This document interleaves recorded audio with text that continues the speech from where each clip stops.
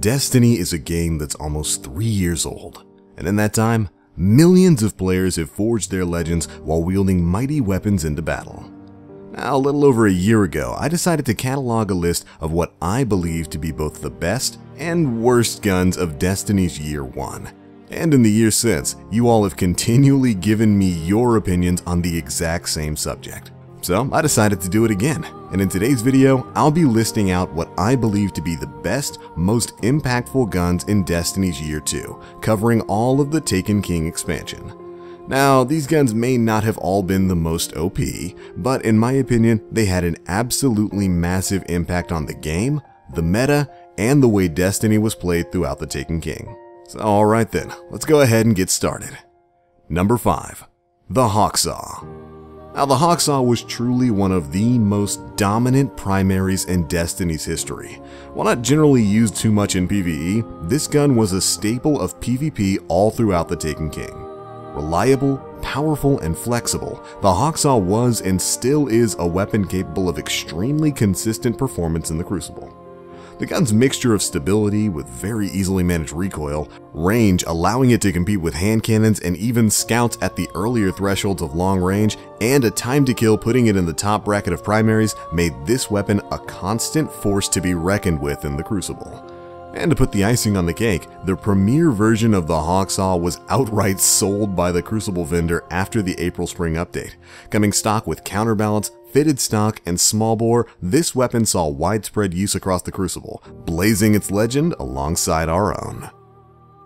Number 4. The Sleeper Simulant Oh man, the Sleeper Simulant doling out high energy charged blasts and demolishing elite tier shielded enemies in one fell burst.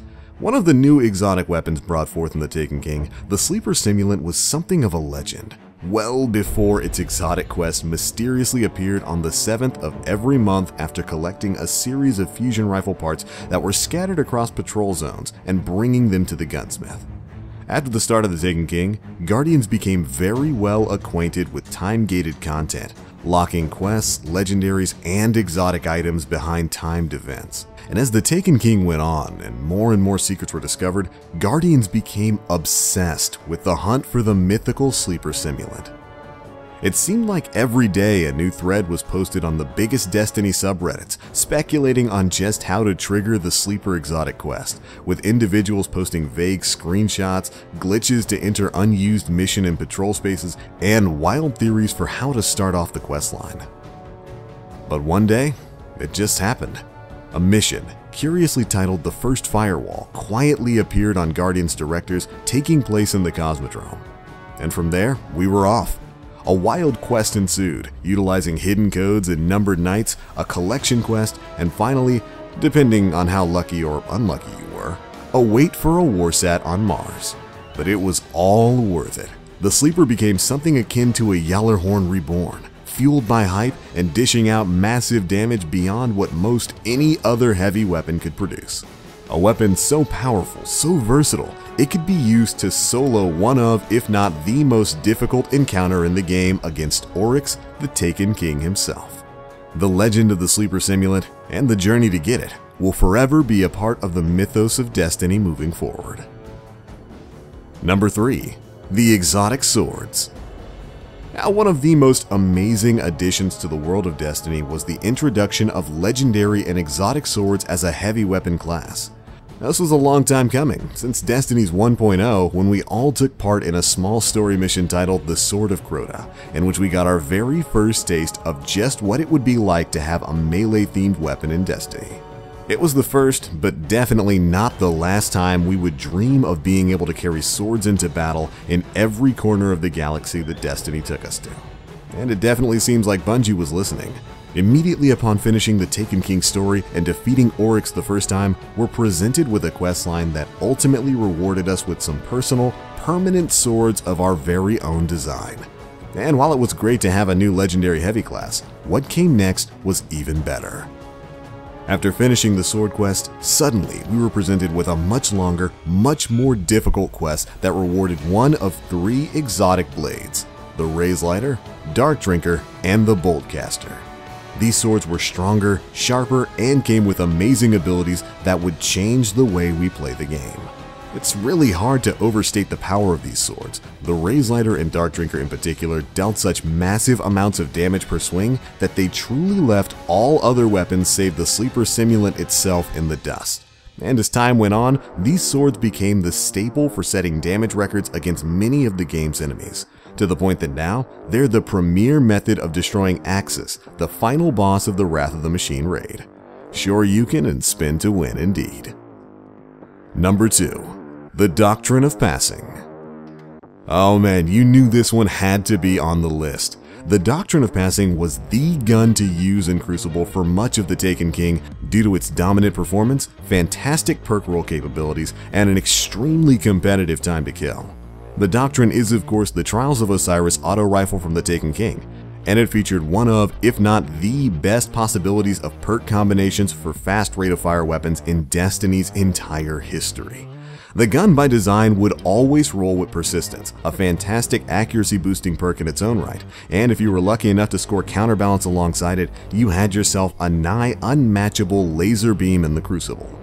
The versatility and sheer power of the Doctrine harken back to a time in which primaries were in a much better state, able to reasonably fight off shotguns and other special weapons and the weapon almost single-handedly ushered in the high rate of fire era for autos, encouraging the use of guns like the Arminius D and the often sought-after Soul Stealer's Claw from Variks and the Reef.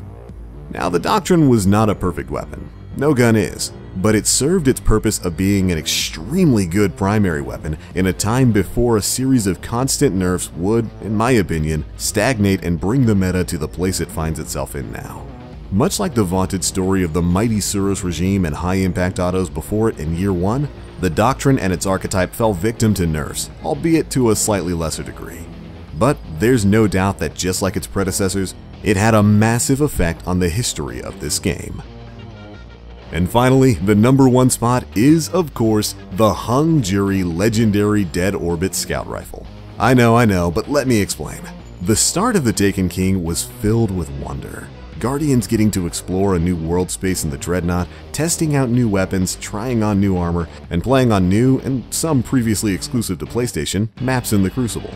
But no one was expecting that Arach Jalaal, the humble representative of the Dead Orbit faction, would be offering a weapon so awesome, so powerful, so perfectly rolled that it would shape the way players handled PvE for many months to come. But upon visiting the tower and checking the newest vendor items, there it was, the God Roll Hung Jury Scout Rifle. Rocking Triple Tap, the best stability perk in its class with hand-laid stock and Firefly, this gun was set up for success from the very start. A mid-rate of fire archetype of scout rifle, the Hung Jury made its impact immediately known, as those who were already subbed to the Dead Orbit saw the excellent mixture of perks and decided to give it a shot. They were met with one of the most solidly performing weapons in the history of the game, tearing through content and feeling like an absolute blast to play with. The Hung Jury basically had it all.